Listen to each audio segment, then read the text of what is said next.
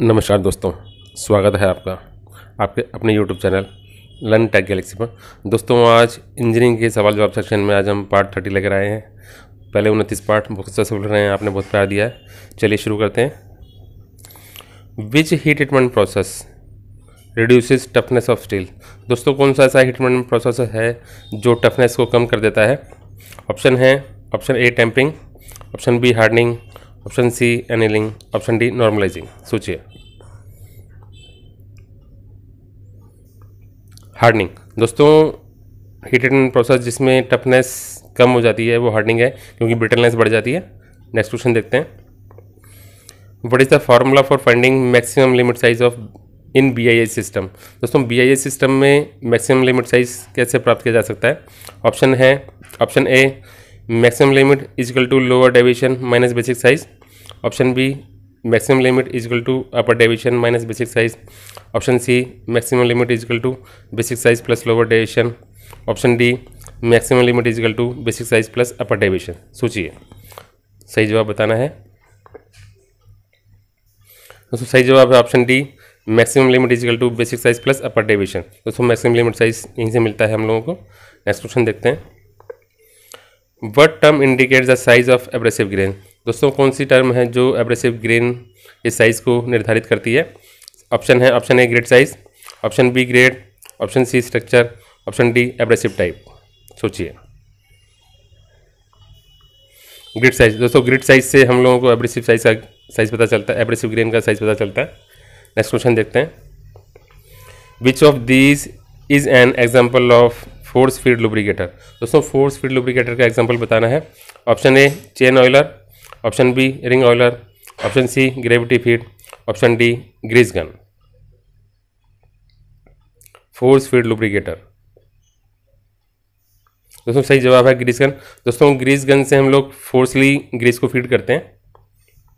Next question है how much microns equal to 1.5 micron दोस्तों, एक दशमलव पाँच मिलीमीटर जो है, कितने माइक्रॉन के बराबर होता है? Option A 150 micron option B 1500 micron option C 15000 micron option D 150000 micron. सोचिए। सही जवाब है 1500 माइक्रोन। दोस्तों, एक मिलीमीटर एक हज़ार माइक्रॉन के बराबर होता है।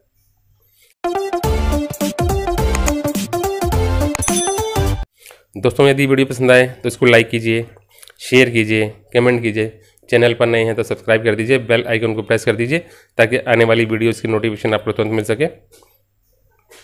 नेक्स्ट क्वेश्चन है what is the name of angle mark P in the photo दोस्तों, एक फ़ोटो दिखाई गई है, एक टूल का एंगल दिखाया गया है। हम लोग को बताना है कि ये कौन सा एंगल है। Option A top rake angle option B side rake angle option C web angle option D clearance angle सोचिए।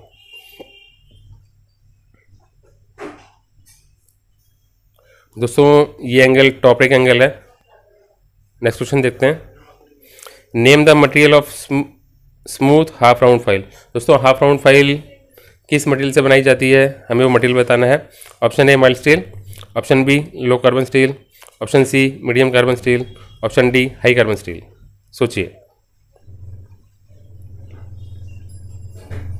दोस्तों सही जवाब है हाई कार्बन स्टील दोस्तों, कोई भी फ़ाइल हाई कार्बन स्टील से बनाई जाती है। नेक्स्ट क्वेश्चन देखते हैं। In which lathe operation concave और convex profiles are made on work दोस्तों, कौन सा ऑपरेशन है? लेथ ऑपरेशन जिसमें कनकेव और कन्वेक्स प्रोफाइल्स बनाई जाती हैं। ऑप्शन हैं option A facing option B turning option C form turning option D grooving तो सही जवाब है फॉर्म टर्निंग दोस्तों फॉर्म टर्निंग में कनकेव और कन्वेक्स प्रोफाइल्स बनाई जाती हैं। नेक्स्ट क्वेश्चन देखते हैं। Which formula is use to calculate taper angle in taper turning attachment method दोस्तों टेपर टर्निंग अटैचमेंट में कौन से फॉर्मूले से हम लोग टेपर का एंगल निकालते हैं?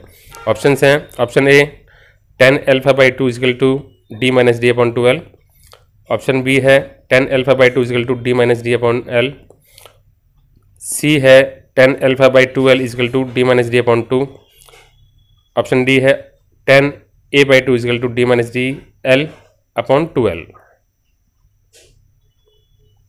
दोस्तों सही जवाब है option A tan alpha by two is equal to D minus D upon twelve next question देखते हैं।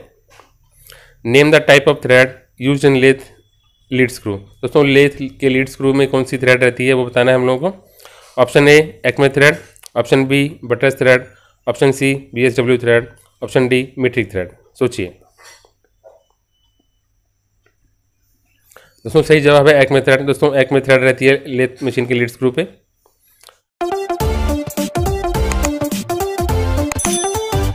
दोस्तों, यदि वीडियो पसंद आए तो इसको लाइक कीजिए शेयर कीजिए कमेंट कीजिए। चैनल पर नहीं तो सब्सक्राइब कर दीजिए।